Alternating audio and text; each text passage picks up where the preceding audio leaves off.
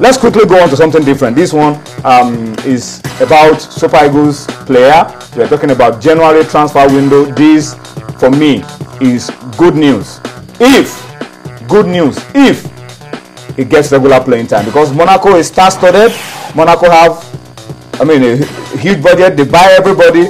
Elderson Echiejile has gone to Monaco from Portugal. For me, is a move up.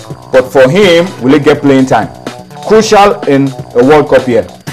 Obviously for a player like um, Chijide to leave for Portugal to go to a star studded side, he must have seen. He must have. He must have played France before, by the way. Yeah, start, start start, run. uh, start runs. Um, so he must have seen the. He must have seen the, the terrain. He must have understood the terrain. He must have seen maybe probably the coast is clear because I think um, Maybe speak the language as well. Uh, yeah, because he's been there before. So um, he's been very regular where he was before. He's played a couple of high-profile games. Played the uh, Europa Europa League with Sporting Braga in the past. So scores a couple of goal, good goals. It, uh, he's super regular at Sporting Braga, but he wants he wanted a, a, a better offer. Going to Monaco, I don't think it's not going. It's going, it's going, it's going to be um, a difficult one for him because one, I think the only the only left-footed player that can I don't know whether can, whether that can challenge him coming in. Maybe the Abidal, but Abidal is some a, a player that is quite is he's in his prime.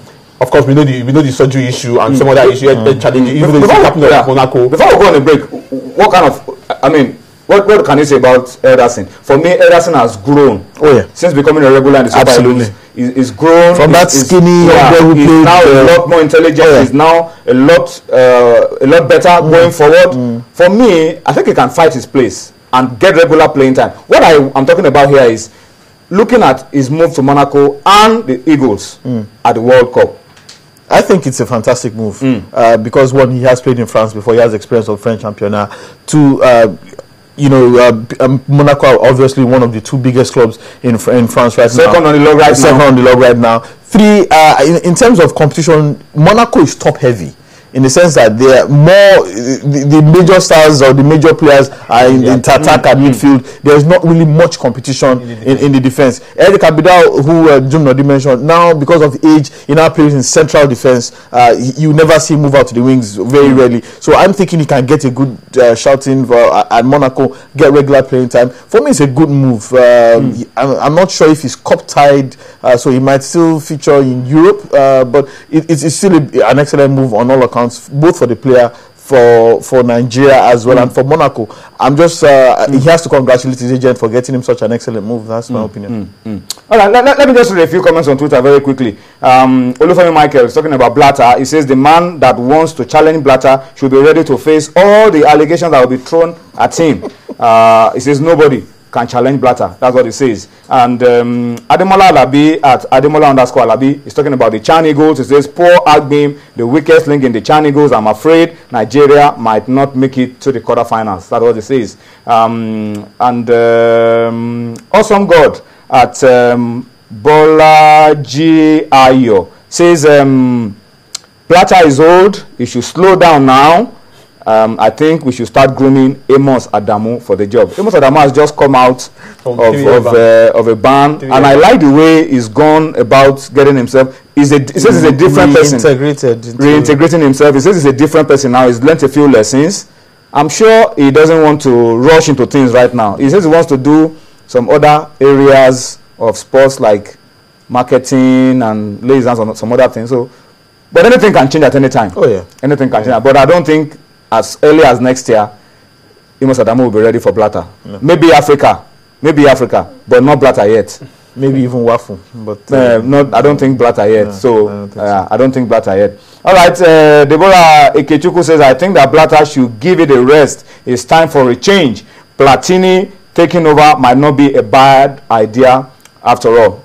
Platini. Platini is a, is yes. Beckenbauer is also getting old. old. No, A Plat- lot- a Platin- lot- Platin has some- 90% of the FIFA executive members are hmm, between yeah. 6, 70 and hmm. 80. They are old They are old, they are old, Old men. people. So, Platini is not exactly Showing too much of interest. No, no, he, Platini is a no, young- is- is still he- fairly he's young compared to the other guy, yeah. But he has some particularly radical ideas that I'm not sure everybody might be comfortable with. He's p- proposing change a lot of things. Europe-wide um, um, European Championship now that have different, Different cities. cities. Who says you can't have a World Cup that might be hosted on all the five continents? but, but, but come to think of it, it was the same radical um, ideas that changed European football. It was the same medical ideas that started football in the first place. Because so it was the same idea that Okay. changed, right? It was the same idea that brought him into into, into Anyway, the days ahead will throw up a lot of these candidates and uh, we'll be able to see clearly. So please continue uh, to tell us who you feel should challenge, those that feel should come up. Let's let's quickly take a look at um, the African Nations Championship currently going on in South Africa. Let's fill you in with the results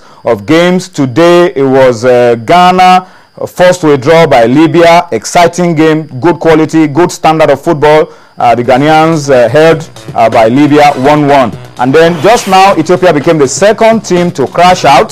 They lost 0-1 to Congo. They've lost two games now um, on the bounce. They, they can have only three points, and two teams already on four points. So um, Ethiopia are out. Their coach, after the friendly in Abuja, says he's predicting the Nigeria-Ethiopia final. They are out of it. It can't happen but I hope the Eagles will not uh, follow them out as well. Tomorrow, Congo DR, Group D. Uh, in Group D, Congo DR will be taking on Gabon. Congo DR have a victory, I think, a victory from their first game. Um, and then uh, they'll be taking on Gabon. And then Burundi will be taking on Mauritania. Burundi and Gabon played at the goalless draw in their first game, so there's everything to play for. On Sunday, all eyes on Cape Town. Group A, final round of games. Nigeria against South Africa. As I speak to you, I'm told that the South Africans have been consulting the juju men, the voodoo priest, everybody that needs They- to be consulted, Muti- the. Muti men in South Africa, just to see that for a change, the result that they've been gathering against Nigeria is different this time. But I'm telling you, it won't be different. We'll beat them again with God on our side. Mozambique against Mali. Mozambique already out, but it could be spoilers if they get the result um, against Mali. And that's another uh, permutation that is um, uh, possible. All right, um, South Africa, their goalkeeper, they told us, has ankle problems and may not be fit for Nigerian game. Itumeleng Khune. Into but it changes nothing. We want him to be fit because we want to beat the best. To beat the best, Dumnodi, you have to beat. We don't want any excuses that because our keeper was injured. We are also missing a number of our key guys, but we want everybody there because we want to win fair, clean, clean. Kule seems to be one of the best goalkeepers in South Africa. He's the best. He's the captain of the national team. That's the best. So that doesn't take anything away from the fact that even if he gets injured, a replacement, oh, still, he's still a goalkeeper. He's not a striker. Let,